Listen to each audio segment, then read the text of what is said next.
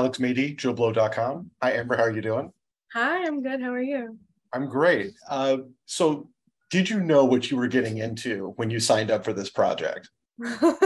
um, no, I was going to say in what capacity, but across the board, the answer is no.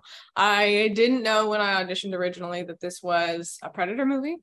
That came as a surprise. And then, even after I had read the script and like pages and pages and pages of action description, still didn't realize like what that would actually feel like to shoot. So, uh, no, lots of surprises. and there's a there's a lot of physicality in this film. And there's you mean it's you compare all the different films in the series going back to the very first one. I mean arnold schwarzenegger was in the jungle doing all of that stuff. And you're doing very similar things here.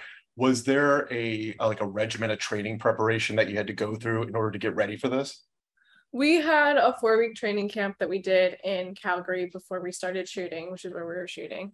Um, and we worked with, you know, all kinds of different weapons. We did archery and spears and knives and um, the tomahawk, obviously. And then we worked with the stunt team and personal trainers and stuff like that. But also, on some level, there's like no way to prepare for some of the stuff that happened in the movie, you know? Why do you want to hunt? because you all think that I can't.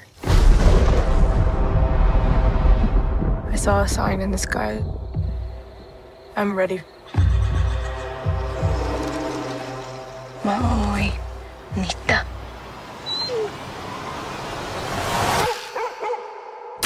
Oh.